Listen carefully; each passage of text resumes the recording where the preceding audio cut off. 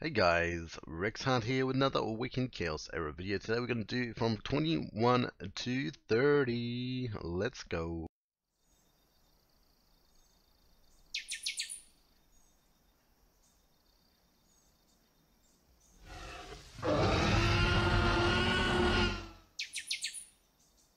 So, the same teams, nothing has changed. Let's keep going. Um, yeah, interesting, interesting. Haven't had an opportunity of them to get seven stacks yet to stun lock us. But we should be okay. I don't think they'll ever get an opportunity to get um, seven turns. Um, but that's fine. It's fine.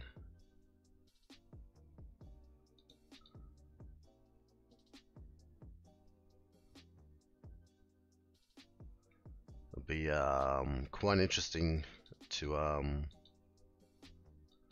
to see. If you guys want to see any champions um, before I hit floor 60, um, to try them out in on that Lightwing Zachary stage. If you do have any champions you do want to see tested or tried out on, um, do let me know because I'll be kind of curious. What I might do is sit on floor 60 for a hot minute and um, try and work out some different teams or comps that um, may or may not work against Lightwing Zachary here.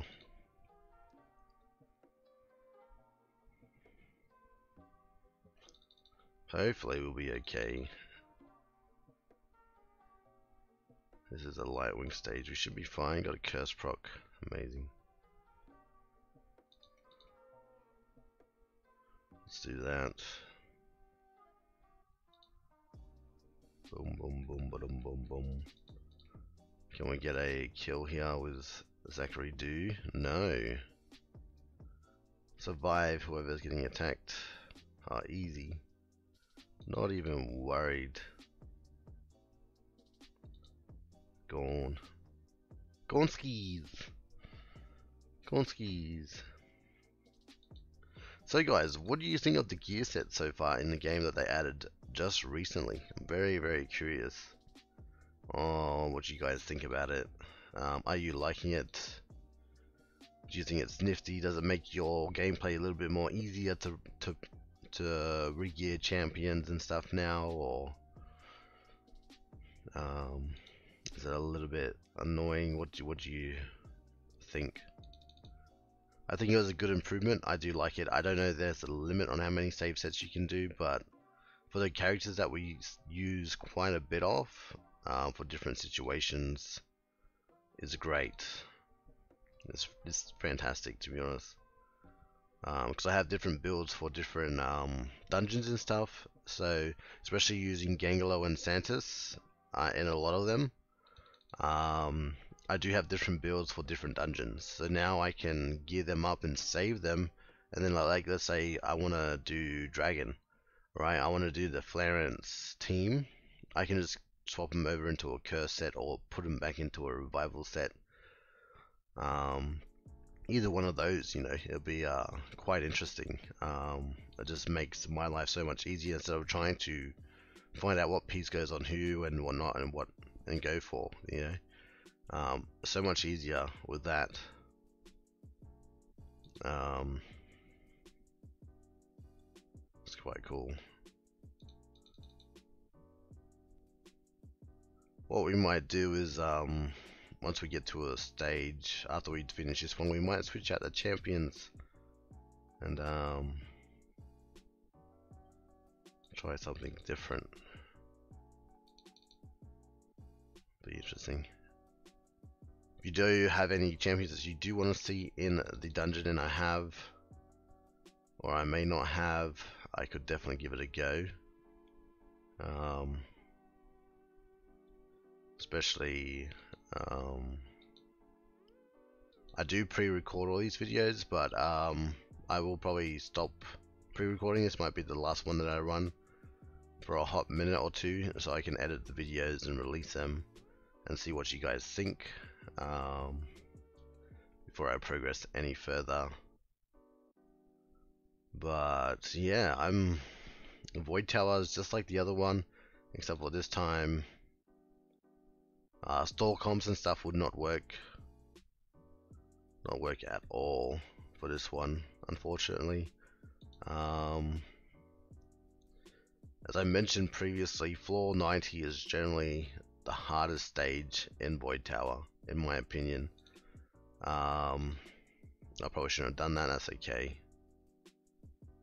Uh, that's what it is. Should be fine though. Yeah. Good, good, good, good.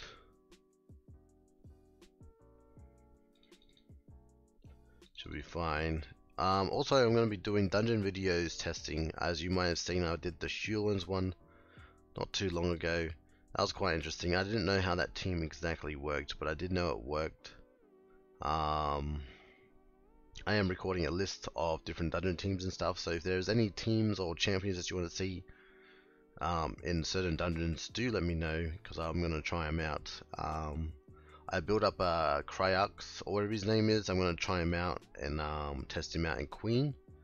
Um, I'm not too sure how well he would do, but he might do really good in stage 12.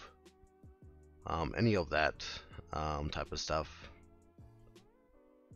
And so on and so forth. Sorry guys, I've been kind of neglecting the uh, Void Tower and telling you who or what to attack.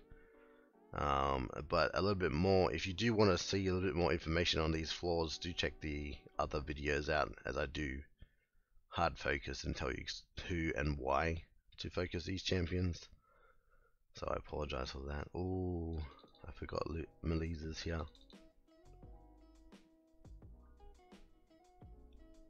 Melisa is such a great champion, very strong. Very, very strong champion. Very good Windrex killer too, by the way, guys. If you're struggling with those Windrex teams in Arena, um, she would uh, by far help you with those ones there. Deluxe cleans up for us. Thank you very much. Doing quite nicely. Void Tower is pretty easy. 27th floor. Cruising along having a good time.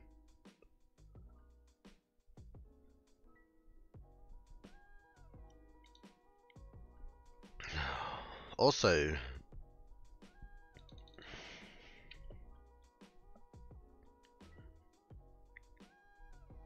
oh dear. Um, the team, the 3v3 arena, um, is quite nifty. I do like the little, the town hall from Raid um, the little power up. That thing is quite nifty. Um, if you guys are buying anything out of it my, my suggestion would be to purchase the yellow crystals. Um, since they require so much of your arena tokens and it's pretty easy to push up to rank 5 or 6 or whatever it is before you need those yellow crystals. So my suggestion if you do um, any of those 3v3 arenas that you should be sending your points in those yellow um, yellow crystals, shards, whatever you want to call them, they would probably be the ones to go for since you they're really hard to get the yellow ones and they require so many yellow. Um, was it I think to get the first rank 6 or 7 it was 70 yellow crystals right and out of that 70 yellow crystals it cost you 1400 3v3 arena tokens, and that's quite a lot for one level.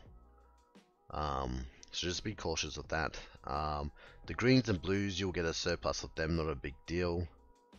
Um, you'll get plenty of those over time. Especially when you're probably, maybe some of you are pushing into the gold, platinum levels by now. Hopefully. Um, you probably would have noticed it's getting a bit harder now um, yeah, uh, my suggestion if you are going to buy anything in the 3v3 shop, buy the yellow crystals. They are the ones that you're going to need the most and a lot of them. So I would buy them, or you can buy the forging mats. I honestly wouldn't worry about forging mats. The forging, forging is is is uh so bad. Um, because you need a lot of materials to even get a decent piece, right? Um, but damn. Damn.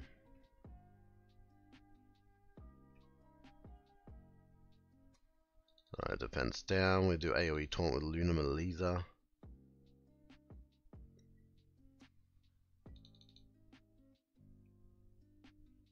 There we go. Ooh.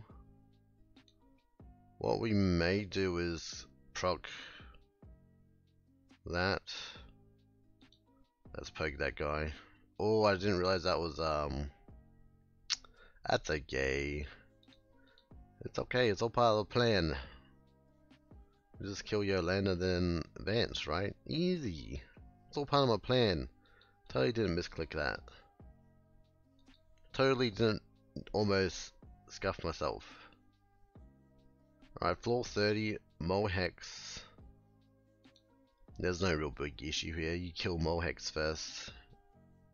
Then Zatlux. Pretty straightforward. Um,